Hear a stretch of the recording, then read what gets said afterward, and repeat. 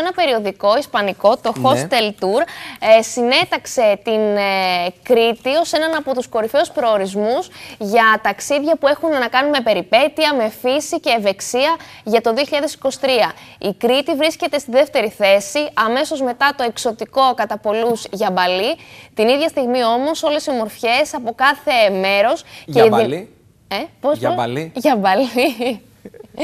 Ε, οι, οι ομορφιές λοιπόν από κάθε σημείο της ε, Κρήτης, είτε είναι ορεινό, είτε είναι κοντά στη θάλασσα, ε, έχει κάνει το γύρο του κόσμου και εκατοντάδες χιλιάδες θα είναι οι Ισπανοί που σύμφωνα με το Εντάξει, περιοδικό Στην πράξη, στην πράξη. θα στην πράξη να το επισκεφθούν. δούμε. Ε, βέβαια, όταν μιλάμε για περιπέτεια, για φύση και για ευεξία, τι μιλάμε; Μιλάμε, μιλάμε για περιπατητικές ε, διαδρομές, για αναρριχήσεις, για πεζοπορίες και το θέμα το οποίο προκύπτει, καλές οι διαφημίσεις, καλά τα σχόλια, καλά τα άρθρα και οι αναφορές. Αλλά θα πρέπει να έχουμε και τις ε, υποδομές, τις αναγκαίες προκειμένου να υποστηρίξουμε αυτές τις δραστηριότητες. Τι να κάνουμε τα διθυραμβικά σχόλια αν δεν μπορούμε να υποστηρίξουμε ε, αυτές τις δράσεις και τις ε, πρωτοβουλίες που θα έρθουν για να βιώσουν και να πάρουν οι ξένοι. Θέλω να πάμε στην πρόεδρο του πεζοπορικού ομίλου Ηρακλείου. Εύη, Την κυρία Ελένη Πουλά, σωστά. Κορυφαίος προορισμός λοιπόν για τουρισμό περιπέτειας η Κρήτη. Την καλησπέρα μας κυρία Πουλά. Καλησπέρα και από μένα κύριε Παναγιωτόπουλε. Και το ζητούμενο και είναι, στους δική τηλεθεατές μας η μας. χαρά, δική μας χαρά που σας φιλοξενούμε. Και το ζητούμενο ποιο είναι, μπορούμε να υποστηρίξουμε αυτές τις δραστηριότητες; Κοιτάξτε, αυτό το άρθρο θα πρέπει να κινητροποιήσει κατά την άποψή μου τις ε, τοπικές αρχές, ούτως ώστε να δημιουργήσουν τις κατάλληλες υποδομές για να μπορούν πραγματικά να υποστηρίξουν ε, αυτή την ε, ε, διάθεση των ξένων ε, το, να, να έρθουν στο νησί, γιατί πραγματικά το νησί είναι ένας κορυφαίος προορισμός για τέτοιου είδους διακοπές ούτως ώστε αυτοί που θα έρθουν να μπορούν να υλοποιήσουν τις διακοπές τους με ασφάλεια, που είναι και το μεγάλο ζητούμενο.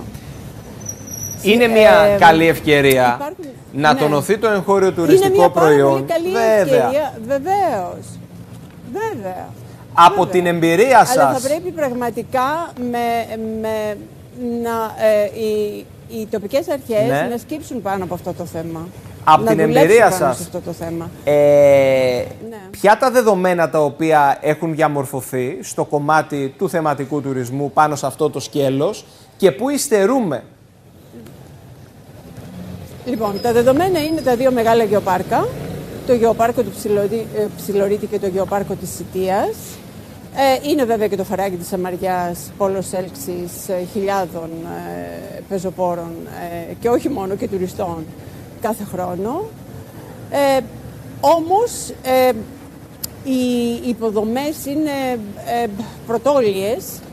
Ε, δεν, ε, δεν μπορείς να εγγυηθείς ότι στις, ε, στα, σ, ε, στα μονοπάτια του Ψιλορίτη, ε, στα μονοπάτια του Γεωπάρκου Σιτίας, ε, μπορείς να περπατήσεις, μπορεί κάποιος να περπατήσει μόνος ή σε μικρή παρέα με ασφάλεια, εάν δεν είναι καλός γνώστης της τεχνολογίας και δεν έχει πάρει την πληροφορία από τις ιστοσελίδες που υπάρχουν όπως είναι το Wikiloc, το Topo Guide και αυτό όχι πάντα με μεγάλη ακρίβεια. Ε, κανονικά θα έπρεπε να αναπτυχθούν, ε, αναπτυχθούν ιστοσελίδες ε, από, τις, ε, μ, από τους Δήμους και από την Περιφέρεια Κρήτης ε, οι οποίες να ενημερώνουν τους ε, πεζοπόρους ε, και για τα μονοπάτια και για τις ε, δυσκολίες που ε, μπορεί να συναντήσουν σε αυτές τις πεζοπορίες και για τις καιρικές συνθήκες. Σωστά. Εμείς ας πούμε συναντάμε στη, στη, στη Νότια Κρήτη, στο ε4, το οποίο είναι πανέμορφο έτσι και ίσως και μοναδικής ομορφιάς στον κόσμο. Ε, ανθρώπους οι οποίοι μας ρωτάν πόση ώρα είναι, πόση ώρα χρειάζεται για να φτάσουμε από το, ε, το λουτρό στα σφακιά, για παράδειγμα. Ε, και φεύγουν ε, χωρίς τε- τα κατάλληλα παπούτσια, τους βλέπουν να είναι χωρίς τα κατάλληλα παπούτσια, Σωστά. να είναι χωρίς νερό και τους δίνουμε συμβουλές στο πόδι.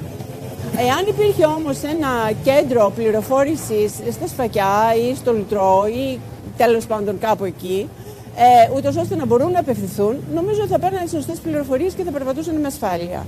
Μάλιστα. Αυτά τώρα για τους μεμονωμένους πεζοπόρους, έτσι. Γιατί αυτοί που περπατάνε οργανωμένα και περπατάνε με συλλόγους, εντάξει, οι σύλλογοι πραγματικά ε, περπα, περπατούν τον κόσμο με ασφάλεια. Και είναι μια καλή ευκαιρία να αξιοποιήσουμε και να διαφημίσουμε το προϊόν το τουριστικό μας Ακριβώς. και κατά τη διάρκεια του χειμώνα. Με προσοχή, οι αρχές, η Βεβαίως, αυτοδιοίκηση βεβαίως, δίπλα, με συγκεκριμένες οδηγίες, καθώς οι ξένοι, ξέρετε, έχουν σωστή νοοτροπία. Ναι, αλλά δεν έχουν τη σωστή πληροφορία. Επίσης, τα μονοπάτια Ε, δεν πολύ είναι σωστά. σηματοδο- Πάρα πολύ σωστά. σηματοδοτημένα. Βέβαια. Είναι, είναι, είναι επικίνδυνο. Ε, Υπάρχει ένα μονοπάτι στο οποίο συμβαίνουν συχνά θάνατοι. Είναι αυτό που είναι Σούγια Αγέρου Μέλη. Ε, αυτό το μονοπάτι, το οποίο είναι πραγματικά μοναδικής φυσικής ομορφιάς, ε, θέλει σηματοδότηση, πάρα πολύ καλή σηματοδότηση και ασφάλιση σε κάποια σημεία. Διότι εκεί έχουν πεθάνει άνθρωποι. Μάλιστα. Και καλή πληροφόρηση πώς θα το περπατήσετε αυτό Μάλιστα. το μονοπάτι. Σας λέω τώρα ένα παράδειγμα. Μάλιστα. Και είναι κρίμα να χάνεται ε, αυτός ο κόσμος από τον τόπο. Όχι, δηλα- δεν αναφέρομαι στους θανάτους. Γενικά σε αυτούς που έχουν τη διάθεση να πεζοπορήσουν και δεν ε, καταλαβαίνουν ότι δεν μπορούν να πεζοπορήσουν με ασφάλεια. Μάλιστα, κυρία Πουλά, δηλαδή, θα το- Ας γίνει πραγματικά αφορμή αυτό Ακριβώς, το άρθρο. ακριβώς, πολύ έτσι, σωστά. Να, να σκουμποθούν οι Δήμοι και οι τοπικές αρχέ. Θα το ξαναπιάσουμε. Εμείς είμαστε στη διάθεσή τους. Βέβαια. Εμείς σαν πεζοπορικός φέτος είμαστε, έχω, κάνουμε ένα project διάσκηση της Κρήτης. Αν μπείτε στην ιστοσελίδα μας έχουμε ανεβάσει και το διαδραστικό χάρτη της διάσκησης της Κρήτης που θα περπατήσουμε σε πεν- 33 πεζοπορίες και σιγά σιγά θα το αναπτύξουμε και θα το ε, ε, μεταφράσουμε και ε, σε άλλες γλώσσες.